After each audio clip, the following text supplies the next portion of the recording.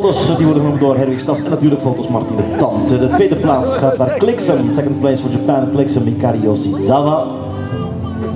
De eerste klasseerde Amazone, Amazone krijgt een bloemenruikertje aangeboden door de heer Erik Schildermans.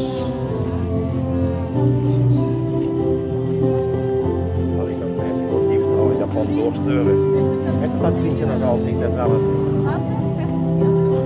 En de derde plaats, third place, Angelica Salozzi, per Giorgio Bucci. Dus op drie. Brazilië 1, Japan 2, Italië 3.